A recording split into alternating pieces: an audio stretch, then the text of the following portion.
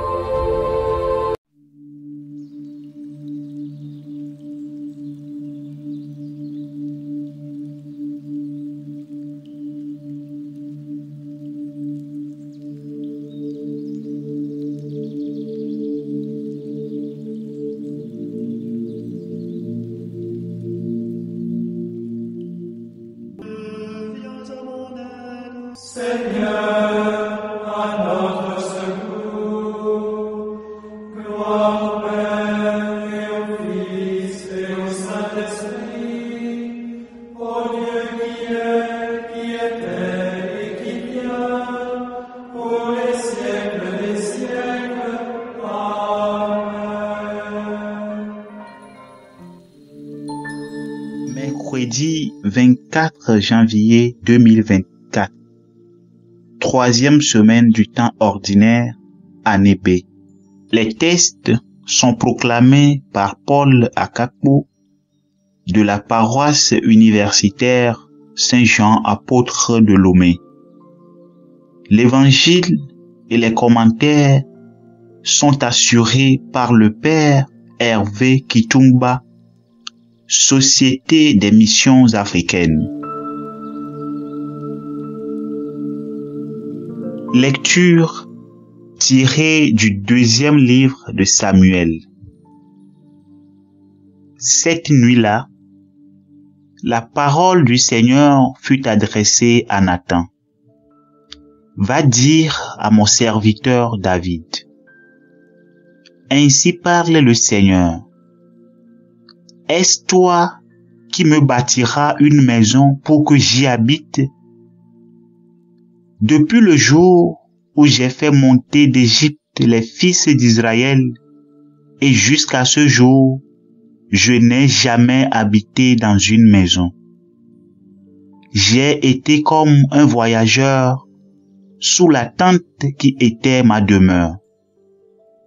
Pendant tout le temps où j'étais comme un voyageur parmi tous les fils d'Israël, ai-je demandé à un seul des juges que j'avais institué pasteur de mon peuple Israël, pourquoi ne m'avez-vous pas bâti une maison de cèdre? Tu diras donc à mon serviteur David, Ainsi parle le Seigneur de l'univers. C'est moi qui t'ai pris au pâturage, derrière le troupeau, pour que tu sois le chef de mon peuple Israël.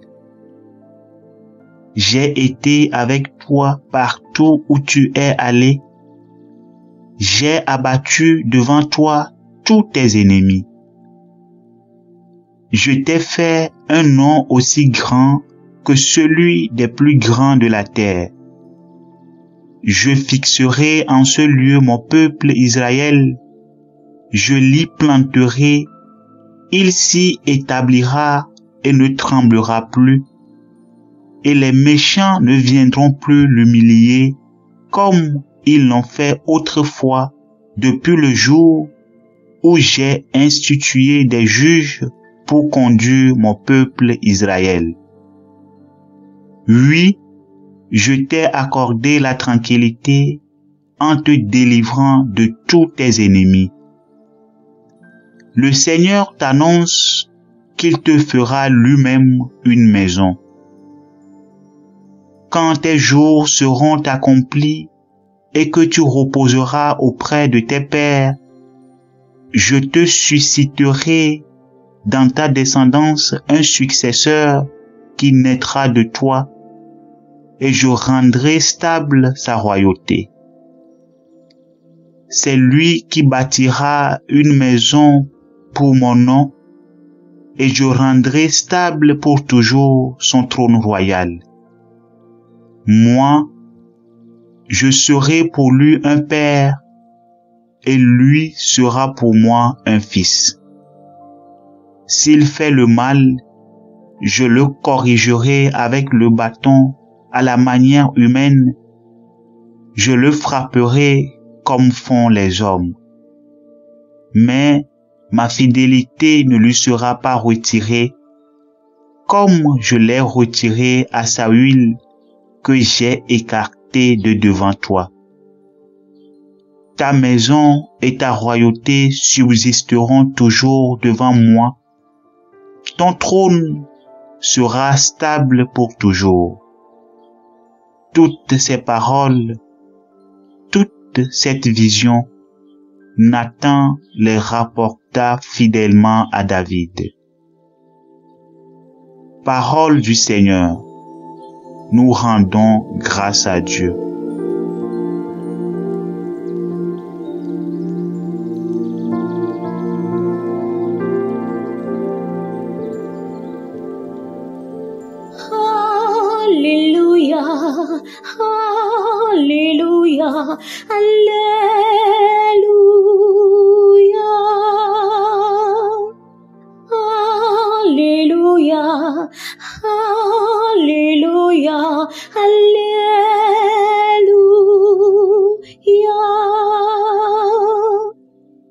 La semence est la parole de Dieu. Le semeur est le Christ.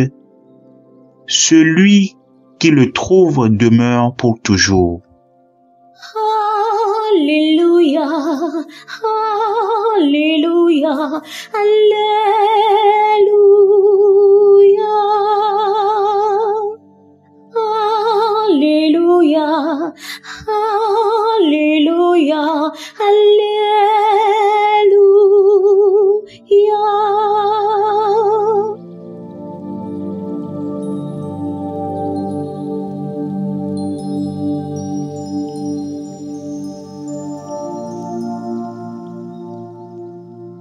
Le Seigneur soit avec vous et avec votre esprit. Évangile de Jésus-Christ selon Saint Marc. Gloire à toi Seigneur. En ce temps-là, Jésus se mit de nouveau à enseigner au bord de la mer de Galilée. Une foule très nombreuse se rassembla auprès de lui, si bien qu'il monta dans une barque où il s'assit. Il était sur la mer et toute la foule était près de la mer sur le rivage. Il leur enseignait beaucoup de choses en paraboles, et dans son enseignement il leur disait, Écoutez, voici que le semeur sortit pour semer. Comme il semait, du grain est tombé au bord du chemin. Les oiseaux sont venus et ils ont tout mangé. Du grain est tombé aussi sur du sol pierreux où il n'avait pas beaucoup de terre. Il a levé aussitôt parce que la terre était peu profonde. Et lorsque le soleil s'est levé, ce grain a brûlé et faute de racines, il a séché. Du grain est tombé aussi dans les ronces. Les ronces ont poussé, l'ont étouffé et il n'a pas donné de fruits. Mais d'autres grains sont tombés dans la bonne terre. Ils ont donné du fruit en poussant et en se développant, et ils ont produit trente, soixante, cent pour un. Et Jésus disait, Celui qui a des oreilles pour entendre qu'il entende. Quand il resta seul, ceux qui étaient autour de lui avec les douze l'interrogeaient sur les paraboles il leur disait, C'est à vous qu'est donné le mystère du royaume de Dieu. Mais à ceux qui sont dehors, tout se présente sous forme de paraboles. Et ainsi, comme dit le prophète, ils auront beau regarder de tous leurs yeux, ils ne verront pas. Ils auront beau écouter de toutes leurs oreilles, ils ne comprendront pas sinon il se convertirait et recevrait le pardon. Il leur dit encore, Vous ne saisissez pas cette parabole Alors comment comprendrez-vous toutes les paraboles? Le semeur sème la parole. Il y a ceux qui sont au bord du chemin où la parole est semée. Quand ils l'entendent, Satan vient aussitôt et enlève la parole semée en eux. Et de même, il y a ceux qui ont reçu la semence dans les endroits pureux. Ceux-là, quand ils entendent la parole, ils la reçoivent aussitôt avec joie, mais ils n'ont pas en eux de racines. Ce sont des gens du moment. Que vienne la détresse ou la persécution, à cause de la parole, ils trébuchent aussitôt. Et il y en a d'autres qui ont reçu la sémence dans les ronces.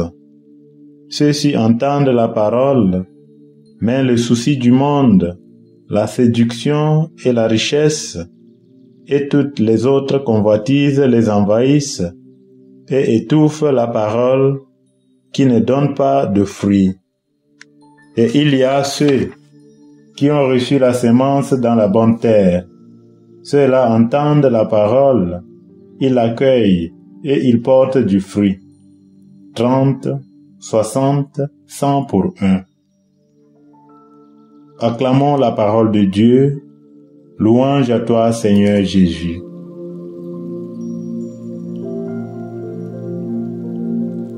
Aujourd'hui, l'Église nous donne de faire mémoire de Saint François de Sales, évêque et docteur de l'Église. Il a beaucoup écrit sur la direction et la formation spirituelle. Il est aussi connu comme docteur de l'amour. Voilà ce qu'il déclare sur agir avec amour. Ce n'est pas par la grandeur de nos actions que nous plaisons à Dieu, mais par l'amour avec lequel nous les faisons. Prions pour la grâce de l'amour dans notre société. Dans notre première lecture d'aujourd'hui, Dieu demande à David son serviteur, de lui bâtir une maison pour qu'il y habite. Cette demande nous est tous lancée de sorte que nous puissions disposer nos cœurs pour accueillir Dieu. Dans l'Évangile, Jésus nous donne un enseignement sur le royaume des cieux à travers la parabole du semeur. Il fait la différence entre les bons sols qui reçoit le grain, le fait pousser en vue de nourrir le monde et les mauvais qui fait sécher la sémence. Nous remarquons que le problème n'est ni la sémence, ni le semeur, mais la terre infertile. La parole de Dieu crée, transforme et donne la vie en abondance. Mais dû à l'endurcissement du cœur de l'homme, cette parole n'atteint pas son objectif. Nous sommes donc invités à être cette bonne terre qui fait germer le fruit en abondance.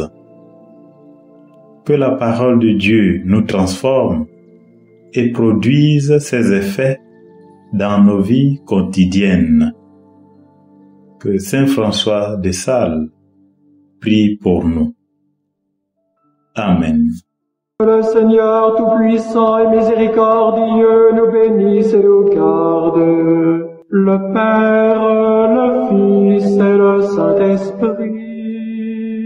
Amen.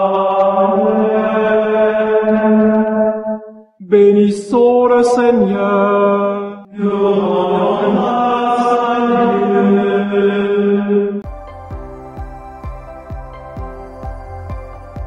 La SMA Togo TV vous propose dès à présent ses services de reportage photo, vidéo pour vos différents événements.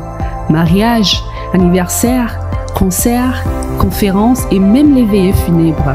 Et ceci en soutien à la mission de l'évangélisation. Contactez-nous au numéro 90 89 77 87 97 99 82 68 ou par email media@smatogo.com. SMA Togo TV, la première chaîne missionnaire.